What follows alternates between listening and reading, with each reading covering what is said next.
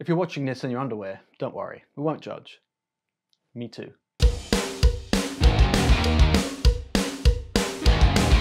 Hello players, welcome to Sexy Tech, guaranteed to lower your IQ. I am your host, the internet's Buz Stringer. Let me just start out by saying I'm, I'm sorry. I'm sorry for being away for too long. I have an apology song, and this is the apology ukulele.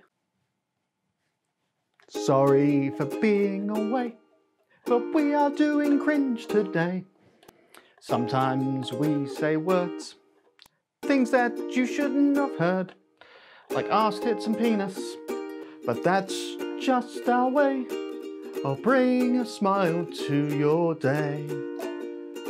Cock. Yeah, that might not be the last time I need to use the apology ukulele. As cringe as that was, surprisingly, it still wasn't as bad as Colleen Borlinger. I'm sorry, Colleen Ballinger. She, she, thought a 10 minute ukulele video could make up for all of her past wrongdoings. Honestly, I've seen more sincerity in a used car salesman's smile.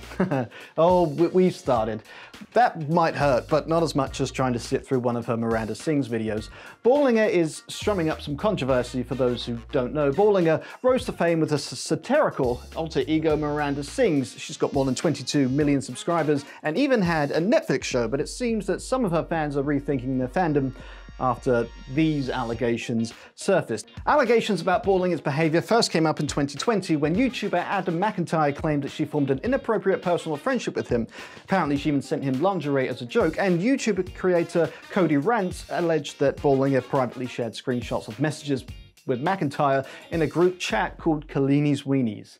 Seriously, Colleen's Weenies, what was it, a chat room or a hot dog stand? But she's not taking these accusations lightly. In her 10 minute ukulele apology song, God, that's gotta be the most millennial thing I've ever read.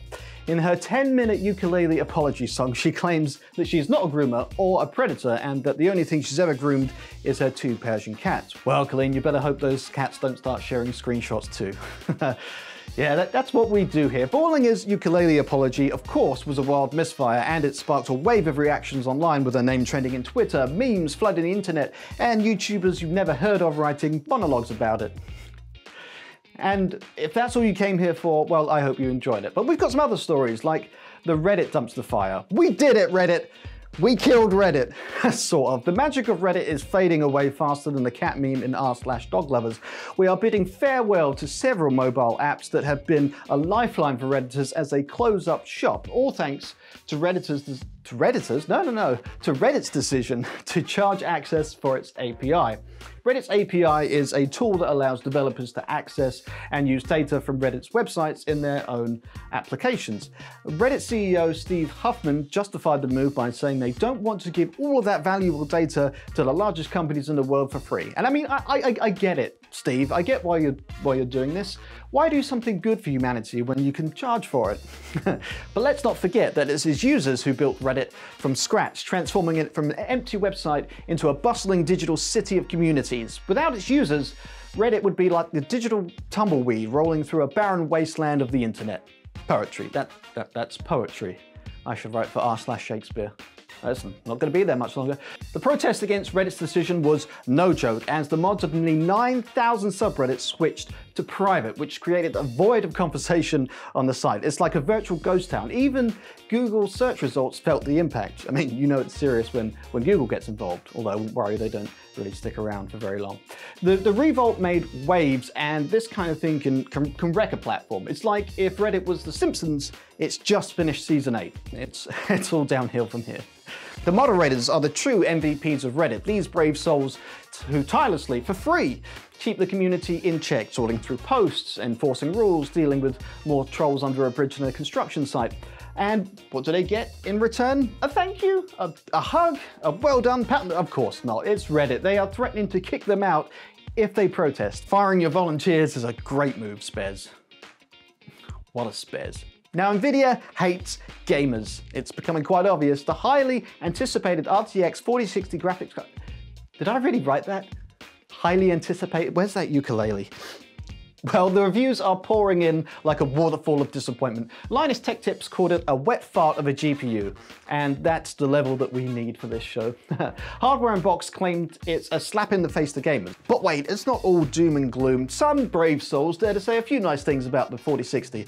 According to Ars Technica's Andrew Cunningham, if you're building an $800 to $1,000 gaming PC, this card is one to go for. Well, at least it found its niche, mid-range mediocrity. Tom's Hardware, Jarred Walton said that the 4060 is faster than the previous generation, which is like saying a tortoise outruns a snail. Sure, it's faster, but I mean, are we really gonna throw a parade for that? Now here's the kicker. Reviews are all in agreement that this poor GPU suffers from a 128-bit memory bus and a mere 8 gigabytes of VRAM. And, you know, Really? I mean, are we talking about graphics cards here or a digital abacus? it's like NVIDIA sent their engineers on vacations and said, yeah, you know, interns, you, you can finish this one for us. The 4060 is not just occasionally losing to the 3060, it's almost getting completely annihilated by the 3060 Ti. Again, another card from a previous generation. So what's the best way to spend your hard-earned cash? Well, the options are endless. You could snag a discounted 3060 Ti or try your luck with the AMD Radeon RX 6700 There's a lot of letters in there. Heck, you might even try to find an eBay treasure for a pre-owned 3070. The only real improvements for 4060 are DLSS 3 and FrameGen, which is fancy upscaling and fake frame insertion. And not all games support it, and it introduces visual artifacts. So yeah, that's the only place that the 4060 outperforms anything. So skip this one. May your frame rates be real and your GPU not a 4060. Out of time. What did we miss this week? Oh yeah, Elon Musk versus Mark Zuckerberg in a steel cage match. Yeah, get ready for some bite-sized brawling. Honestly, I don't mind if both of them lose. Stay sexy and be excellent to each other. I was going to tell you a joke about construction, but I'm still working on it.